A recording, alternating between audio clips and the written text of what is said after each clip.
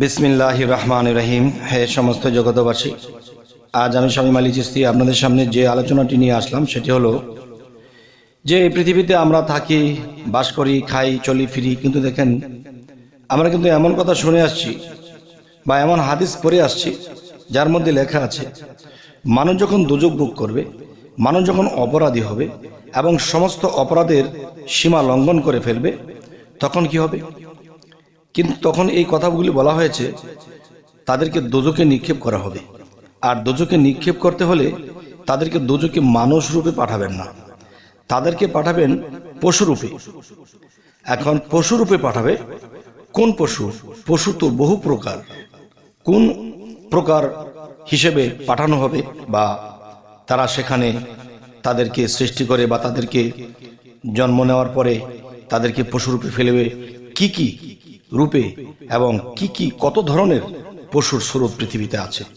যেমন মনে করেন, সাধকের বাক্যে একটি কথা আছে, কি সুরত বানাইলে খোদা রূপ মিশে আপনার? এই সুরত দুজকে যাবে যে বলে সে গুণাগার।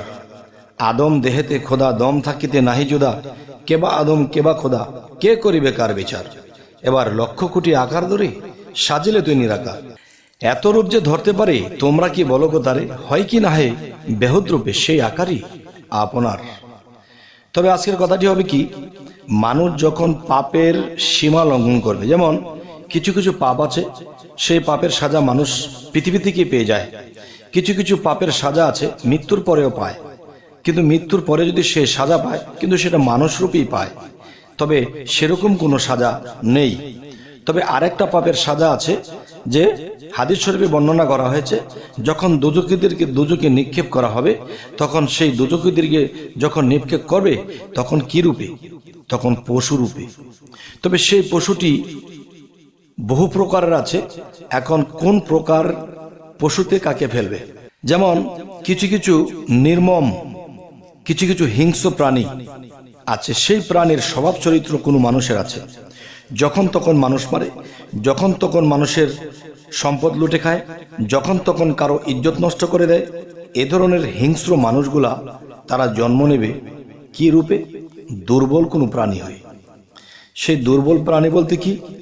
যেমন ধরেন, সে জন্ম নেবে হরিণ হতে পারে বা বনের ছাগল হতে পারে, গরু হতে পারে বা বন গরু এরকম কিছু হতে পারে। তাদের কিন্তু হাতের মধ্যে কোনো অস্ত্র নেই, মুখের মধ্যে কোনো অস্ত্র নেই। অস্ত্র আছে কার? অস্ত্র আছে বাঘ, সিংহ, ভাল্লুক। তারা ছিঁড়িবিড়ি খেতে পারে। তাদের সামনের পায়ের মধ্যে অস্ত্র আছে, নখ দিয়ে ছিঁড়িবিড়ি ধরে খেতে পারে। তো এই কৌশলগুলো কিন্তু যেমন ছাগল আছে, ভেড়া, গরু আছে মনের হরিণ আছে, মহিষ আছে, এদের কিন্তু সেই অস্ত্রটা নেই। আচ্ছা যার ফলে কি হয়? যে তারা নির্যাতিত হতে থাকে। তো এই পৃথিবীতে যাদের অর্থনীতি দুর্বল, যাদের সমাজ শক্তি নেই, ওরকম কোনো শক্তি তাদের নেই, তারা কিন্তু বড় বড় উচ্চস্তরের যে ধনী লোকের নির্যাতিত তারা শিকার হয়। আর ওই ধরনের লোকগুলাই যখন দোজকে নিক্ষেপ করবে, তখনই তাদেরকে পশুরূপে ফেলানো হবে। আর সে পশুগুলো যে অস্ত্র ছাড়া তাদের জন্ম দেওয়া হবে। অস্ত্র ছাড়া যখন জন্ম দেওয়া হবে তখন দেখা যায় কি? যে তারা সেই হিংস্র প্রাণী এদের হাতে তারা আঘাতপ্রাপ্ত হবে, তাদেরকে টেনে জীবিত চিরিবিরে খাবে।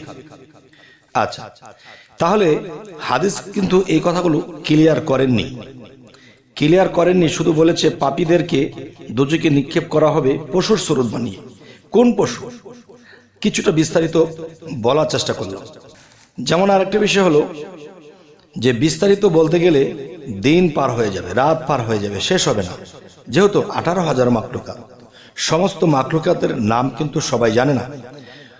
গোটা মুষ্টি হিসেব করতে গেলে মনে হয় একশো পার করতে পারব না প্রাণের নাম বলে। তো আঠারো হাজার অবশ্যই আমাদের পক্ষে এটি সম্ভব হবে না। তাই বলছি হে সমস্ত জগতবাসী যে আমরা যদি কখনো দেখা যায় যে এরকম পাপে পাপিষ্ট হয়ে যায় তখন মানব জন্মটা আমরা হারাবো। তো সেই মানব জন্ম হারালে আর মানবের জন্ম যদি আমরা নাই পাই, তাহলে সে পশুতে চলে যেতে হবে। আচ্ছা প্রাণী। প্রাণী বলতে শুধু আমরা যেই প্রাণীকে কাটলে রক্ত বের হয়, সেটাকে আমরা প্রাণী বলছি। দেখেন, গাছও কিন্তু একটা প্রাণী। গাছেরও কিন্তু প্রাণ আছে। দেখবেন, মানুষ গাছের ডালপাল ছিঁড়ে ফেলে দিচ্ছে, গাছ কেটে ফেলছে, তাদেরও কিন্তু কষ্ট হচ্ছে। আমাদের যদি রক্ত বের হয়, গাছের কিন্তু রস রসকস বের হচ্ছে। তার কিন্তু কষ্ট হচ্ছে। সে আমাদের বলতে চাইলেও বলতে পারছে না, আর সে বললেও আমরা সেই কান আমাদের নেই যে গাছের চিৎকার আমরা শুনব। তবে মানুষের পাপ অনুসারে তার সেই প্রাণীতেই জন্ম হবে এবং সেখানেই সাজা দেওয়া হবে। তো এই জন্যই একটি কথা বলা হয়েছে, কি স্রোত বানাইলেন খোদা? রূপ মিশে আপনার। সেই স্রোত দোজকে যাবে, যে বলে সে গুণাগার। আদম দেহেতে খোদা, দম থাকিতে নাহি জুদা। কেবা আদম, কেবা খোদা। কে করিবে কার বিচার? এবার লক্ষ কোটি আকার ধরে সাজিলেন তিনি নিরাকার। তাই কথাগুলো তাদের জন্যই হবে বেকার, যারা এই কথাগুলো বোঝার চেষ্টা করে না। তাই বলব, পৃথিবীতে হিংস্র প্রাণী যে আছে সেই হিংস্র প্রাণীর স্বভাব যদি কোনো মানুষের মধ্যে থাকে, তাহলে সে নর্মাল পশু হয়ে জন্মাবে, যেমন অন্য সিংহ ভাল্লুক তাকে চিবিয়ে চিবিয়ে ছিঁড়ে বেরিয়ে খেতে পারে। এ হলো একটা বিষয়। আরেকটা বিষয় হলো, দেখুন, পৃথিবীতে অনেক শান্ত প্রাণী আছে। শান্ত প্রাণী থাকলে কি? কিন্তু প্রাণী যেহেতু জন্ম নিয়েছে, তাহলে তার অবশ্যই পাপ ছিল। তাই বলব কি, আল্লাহ যেমন তাদের উপর কাহার হয়ে গেছে, তারা আল্লাহর কাছে আর সাহায্য সহযোগিতা পাইতেছে না। ঠিক ওরকম প্রাণী যদি আমাদের চোখে পড়ে, তাদেরকে একটা রুটি খাওয়াবো, তাদেরকে একটা ধান, চাউল কিছু খাওয়াবো, কেন না? তারা তো পাপে আজকে পশু প্রাণী হয়ে পৃথিবীতে এসে সেই দুযোগ ভোগ করতেছে। তাই আমি অন্য অন্য জায়গায় বলেছি যে দুযোগ বুক করতেছে। দুযোগ অর্থ অশান্তিময় স্থান। দেখেন পৃথিবীতে বাঘ, বাল্লুক, ভেড়া, বরকি, হরিণ, বিভিন্ন প্রাণী, তারা কিন্তু খুবই কষ্টে জীবনযাপন। আর কখনো খেয়ে থাকে, কখনো না খেয়ে থাকে। কিন্তু মানুষ কিন্তু এক প্রকার খেয়েই থাকে। মানুষ কিন্তু সুখের জীবন। তাই বলা হয়েছে যে মানুষ স্রোতে আল্লাহ কখনো দুদুকে নিক্ষেপ করবেন না। আর যদি নিক্ষেপ করতেই হয়, তাহলে মানুষের স্রোতে নয়। তবে হে সমস্ত জগতবাসী আজকের এই আলোচনাটি কেন বললাম আর কেনই বা দরকার হলো? দেখেন, আমরা দোজক এবং বেহেস্ত বলতে আমরা কি বুঝি? দোজক বেহেস্তের মধ্যেই কিন্তু আমরা বসবাস করতেছি, কিন্তু আমরা জানি না।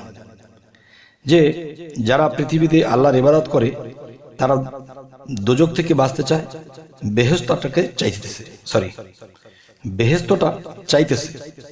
তাই বলব কি, যে যারা দোজক চাবে, সারা তারা আবার। যারা দোজকে যাবে, তারা আবার বেহেস্ত পাবে। আর যারা বেহেস্ত পাবে, তারা আবার দোজকে যাবে। তার মানে রাতের পরে দিন, দিনের পরে রাত। তাই আমি বলব কি, যে অবশ্যই আমরা বেহেস্ত দোজকের কোনো কথা বলার দরকার নেই। আমরা শুধু আল্লাহকে ভালোবাসবো। আর আল্লাহকে যদি ভালোবাসি, আর আল্লাহ যদি আমাকে প্রেমিক হিসেবে নেয়, তাহলে সেই প্রেমিককে কখনোই দোজকে ফেলাবে না।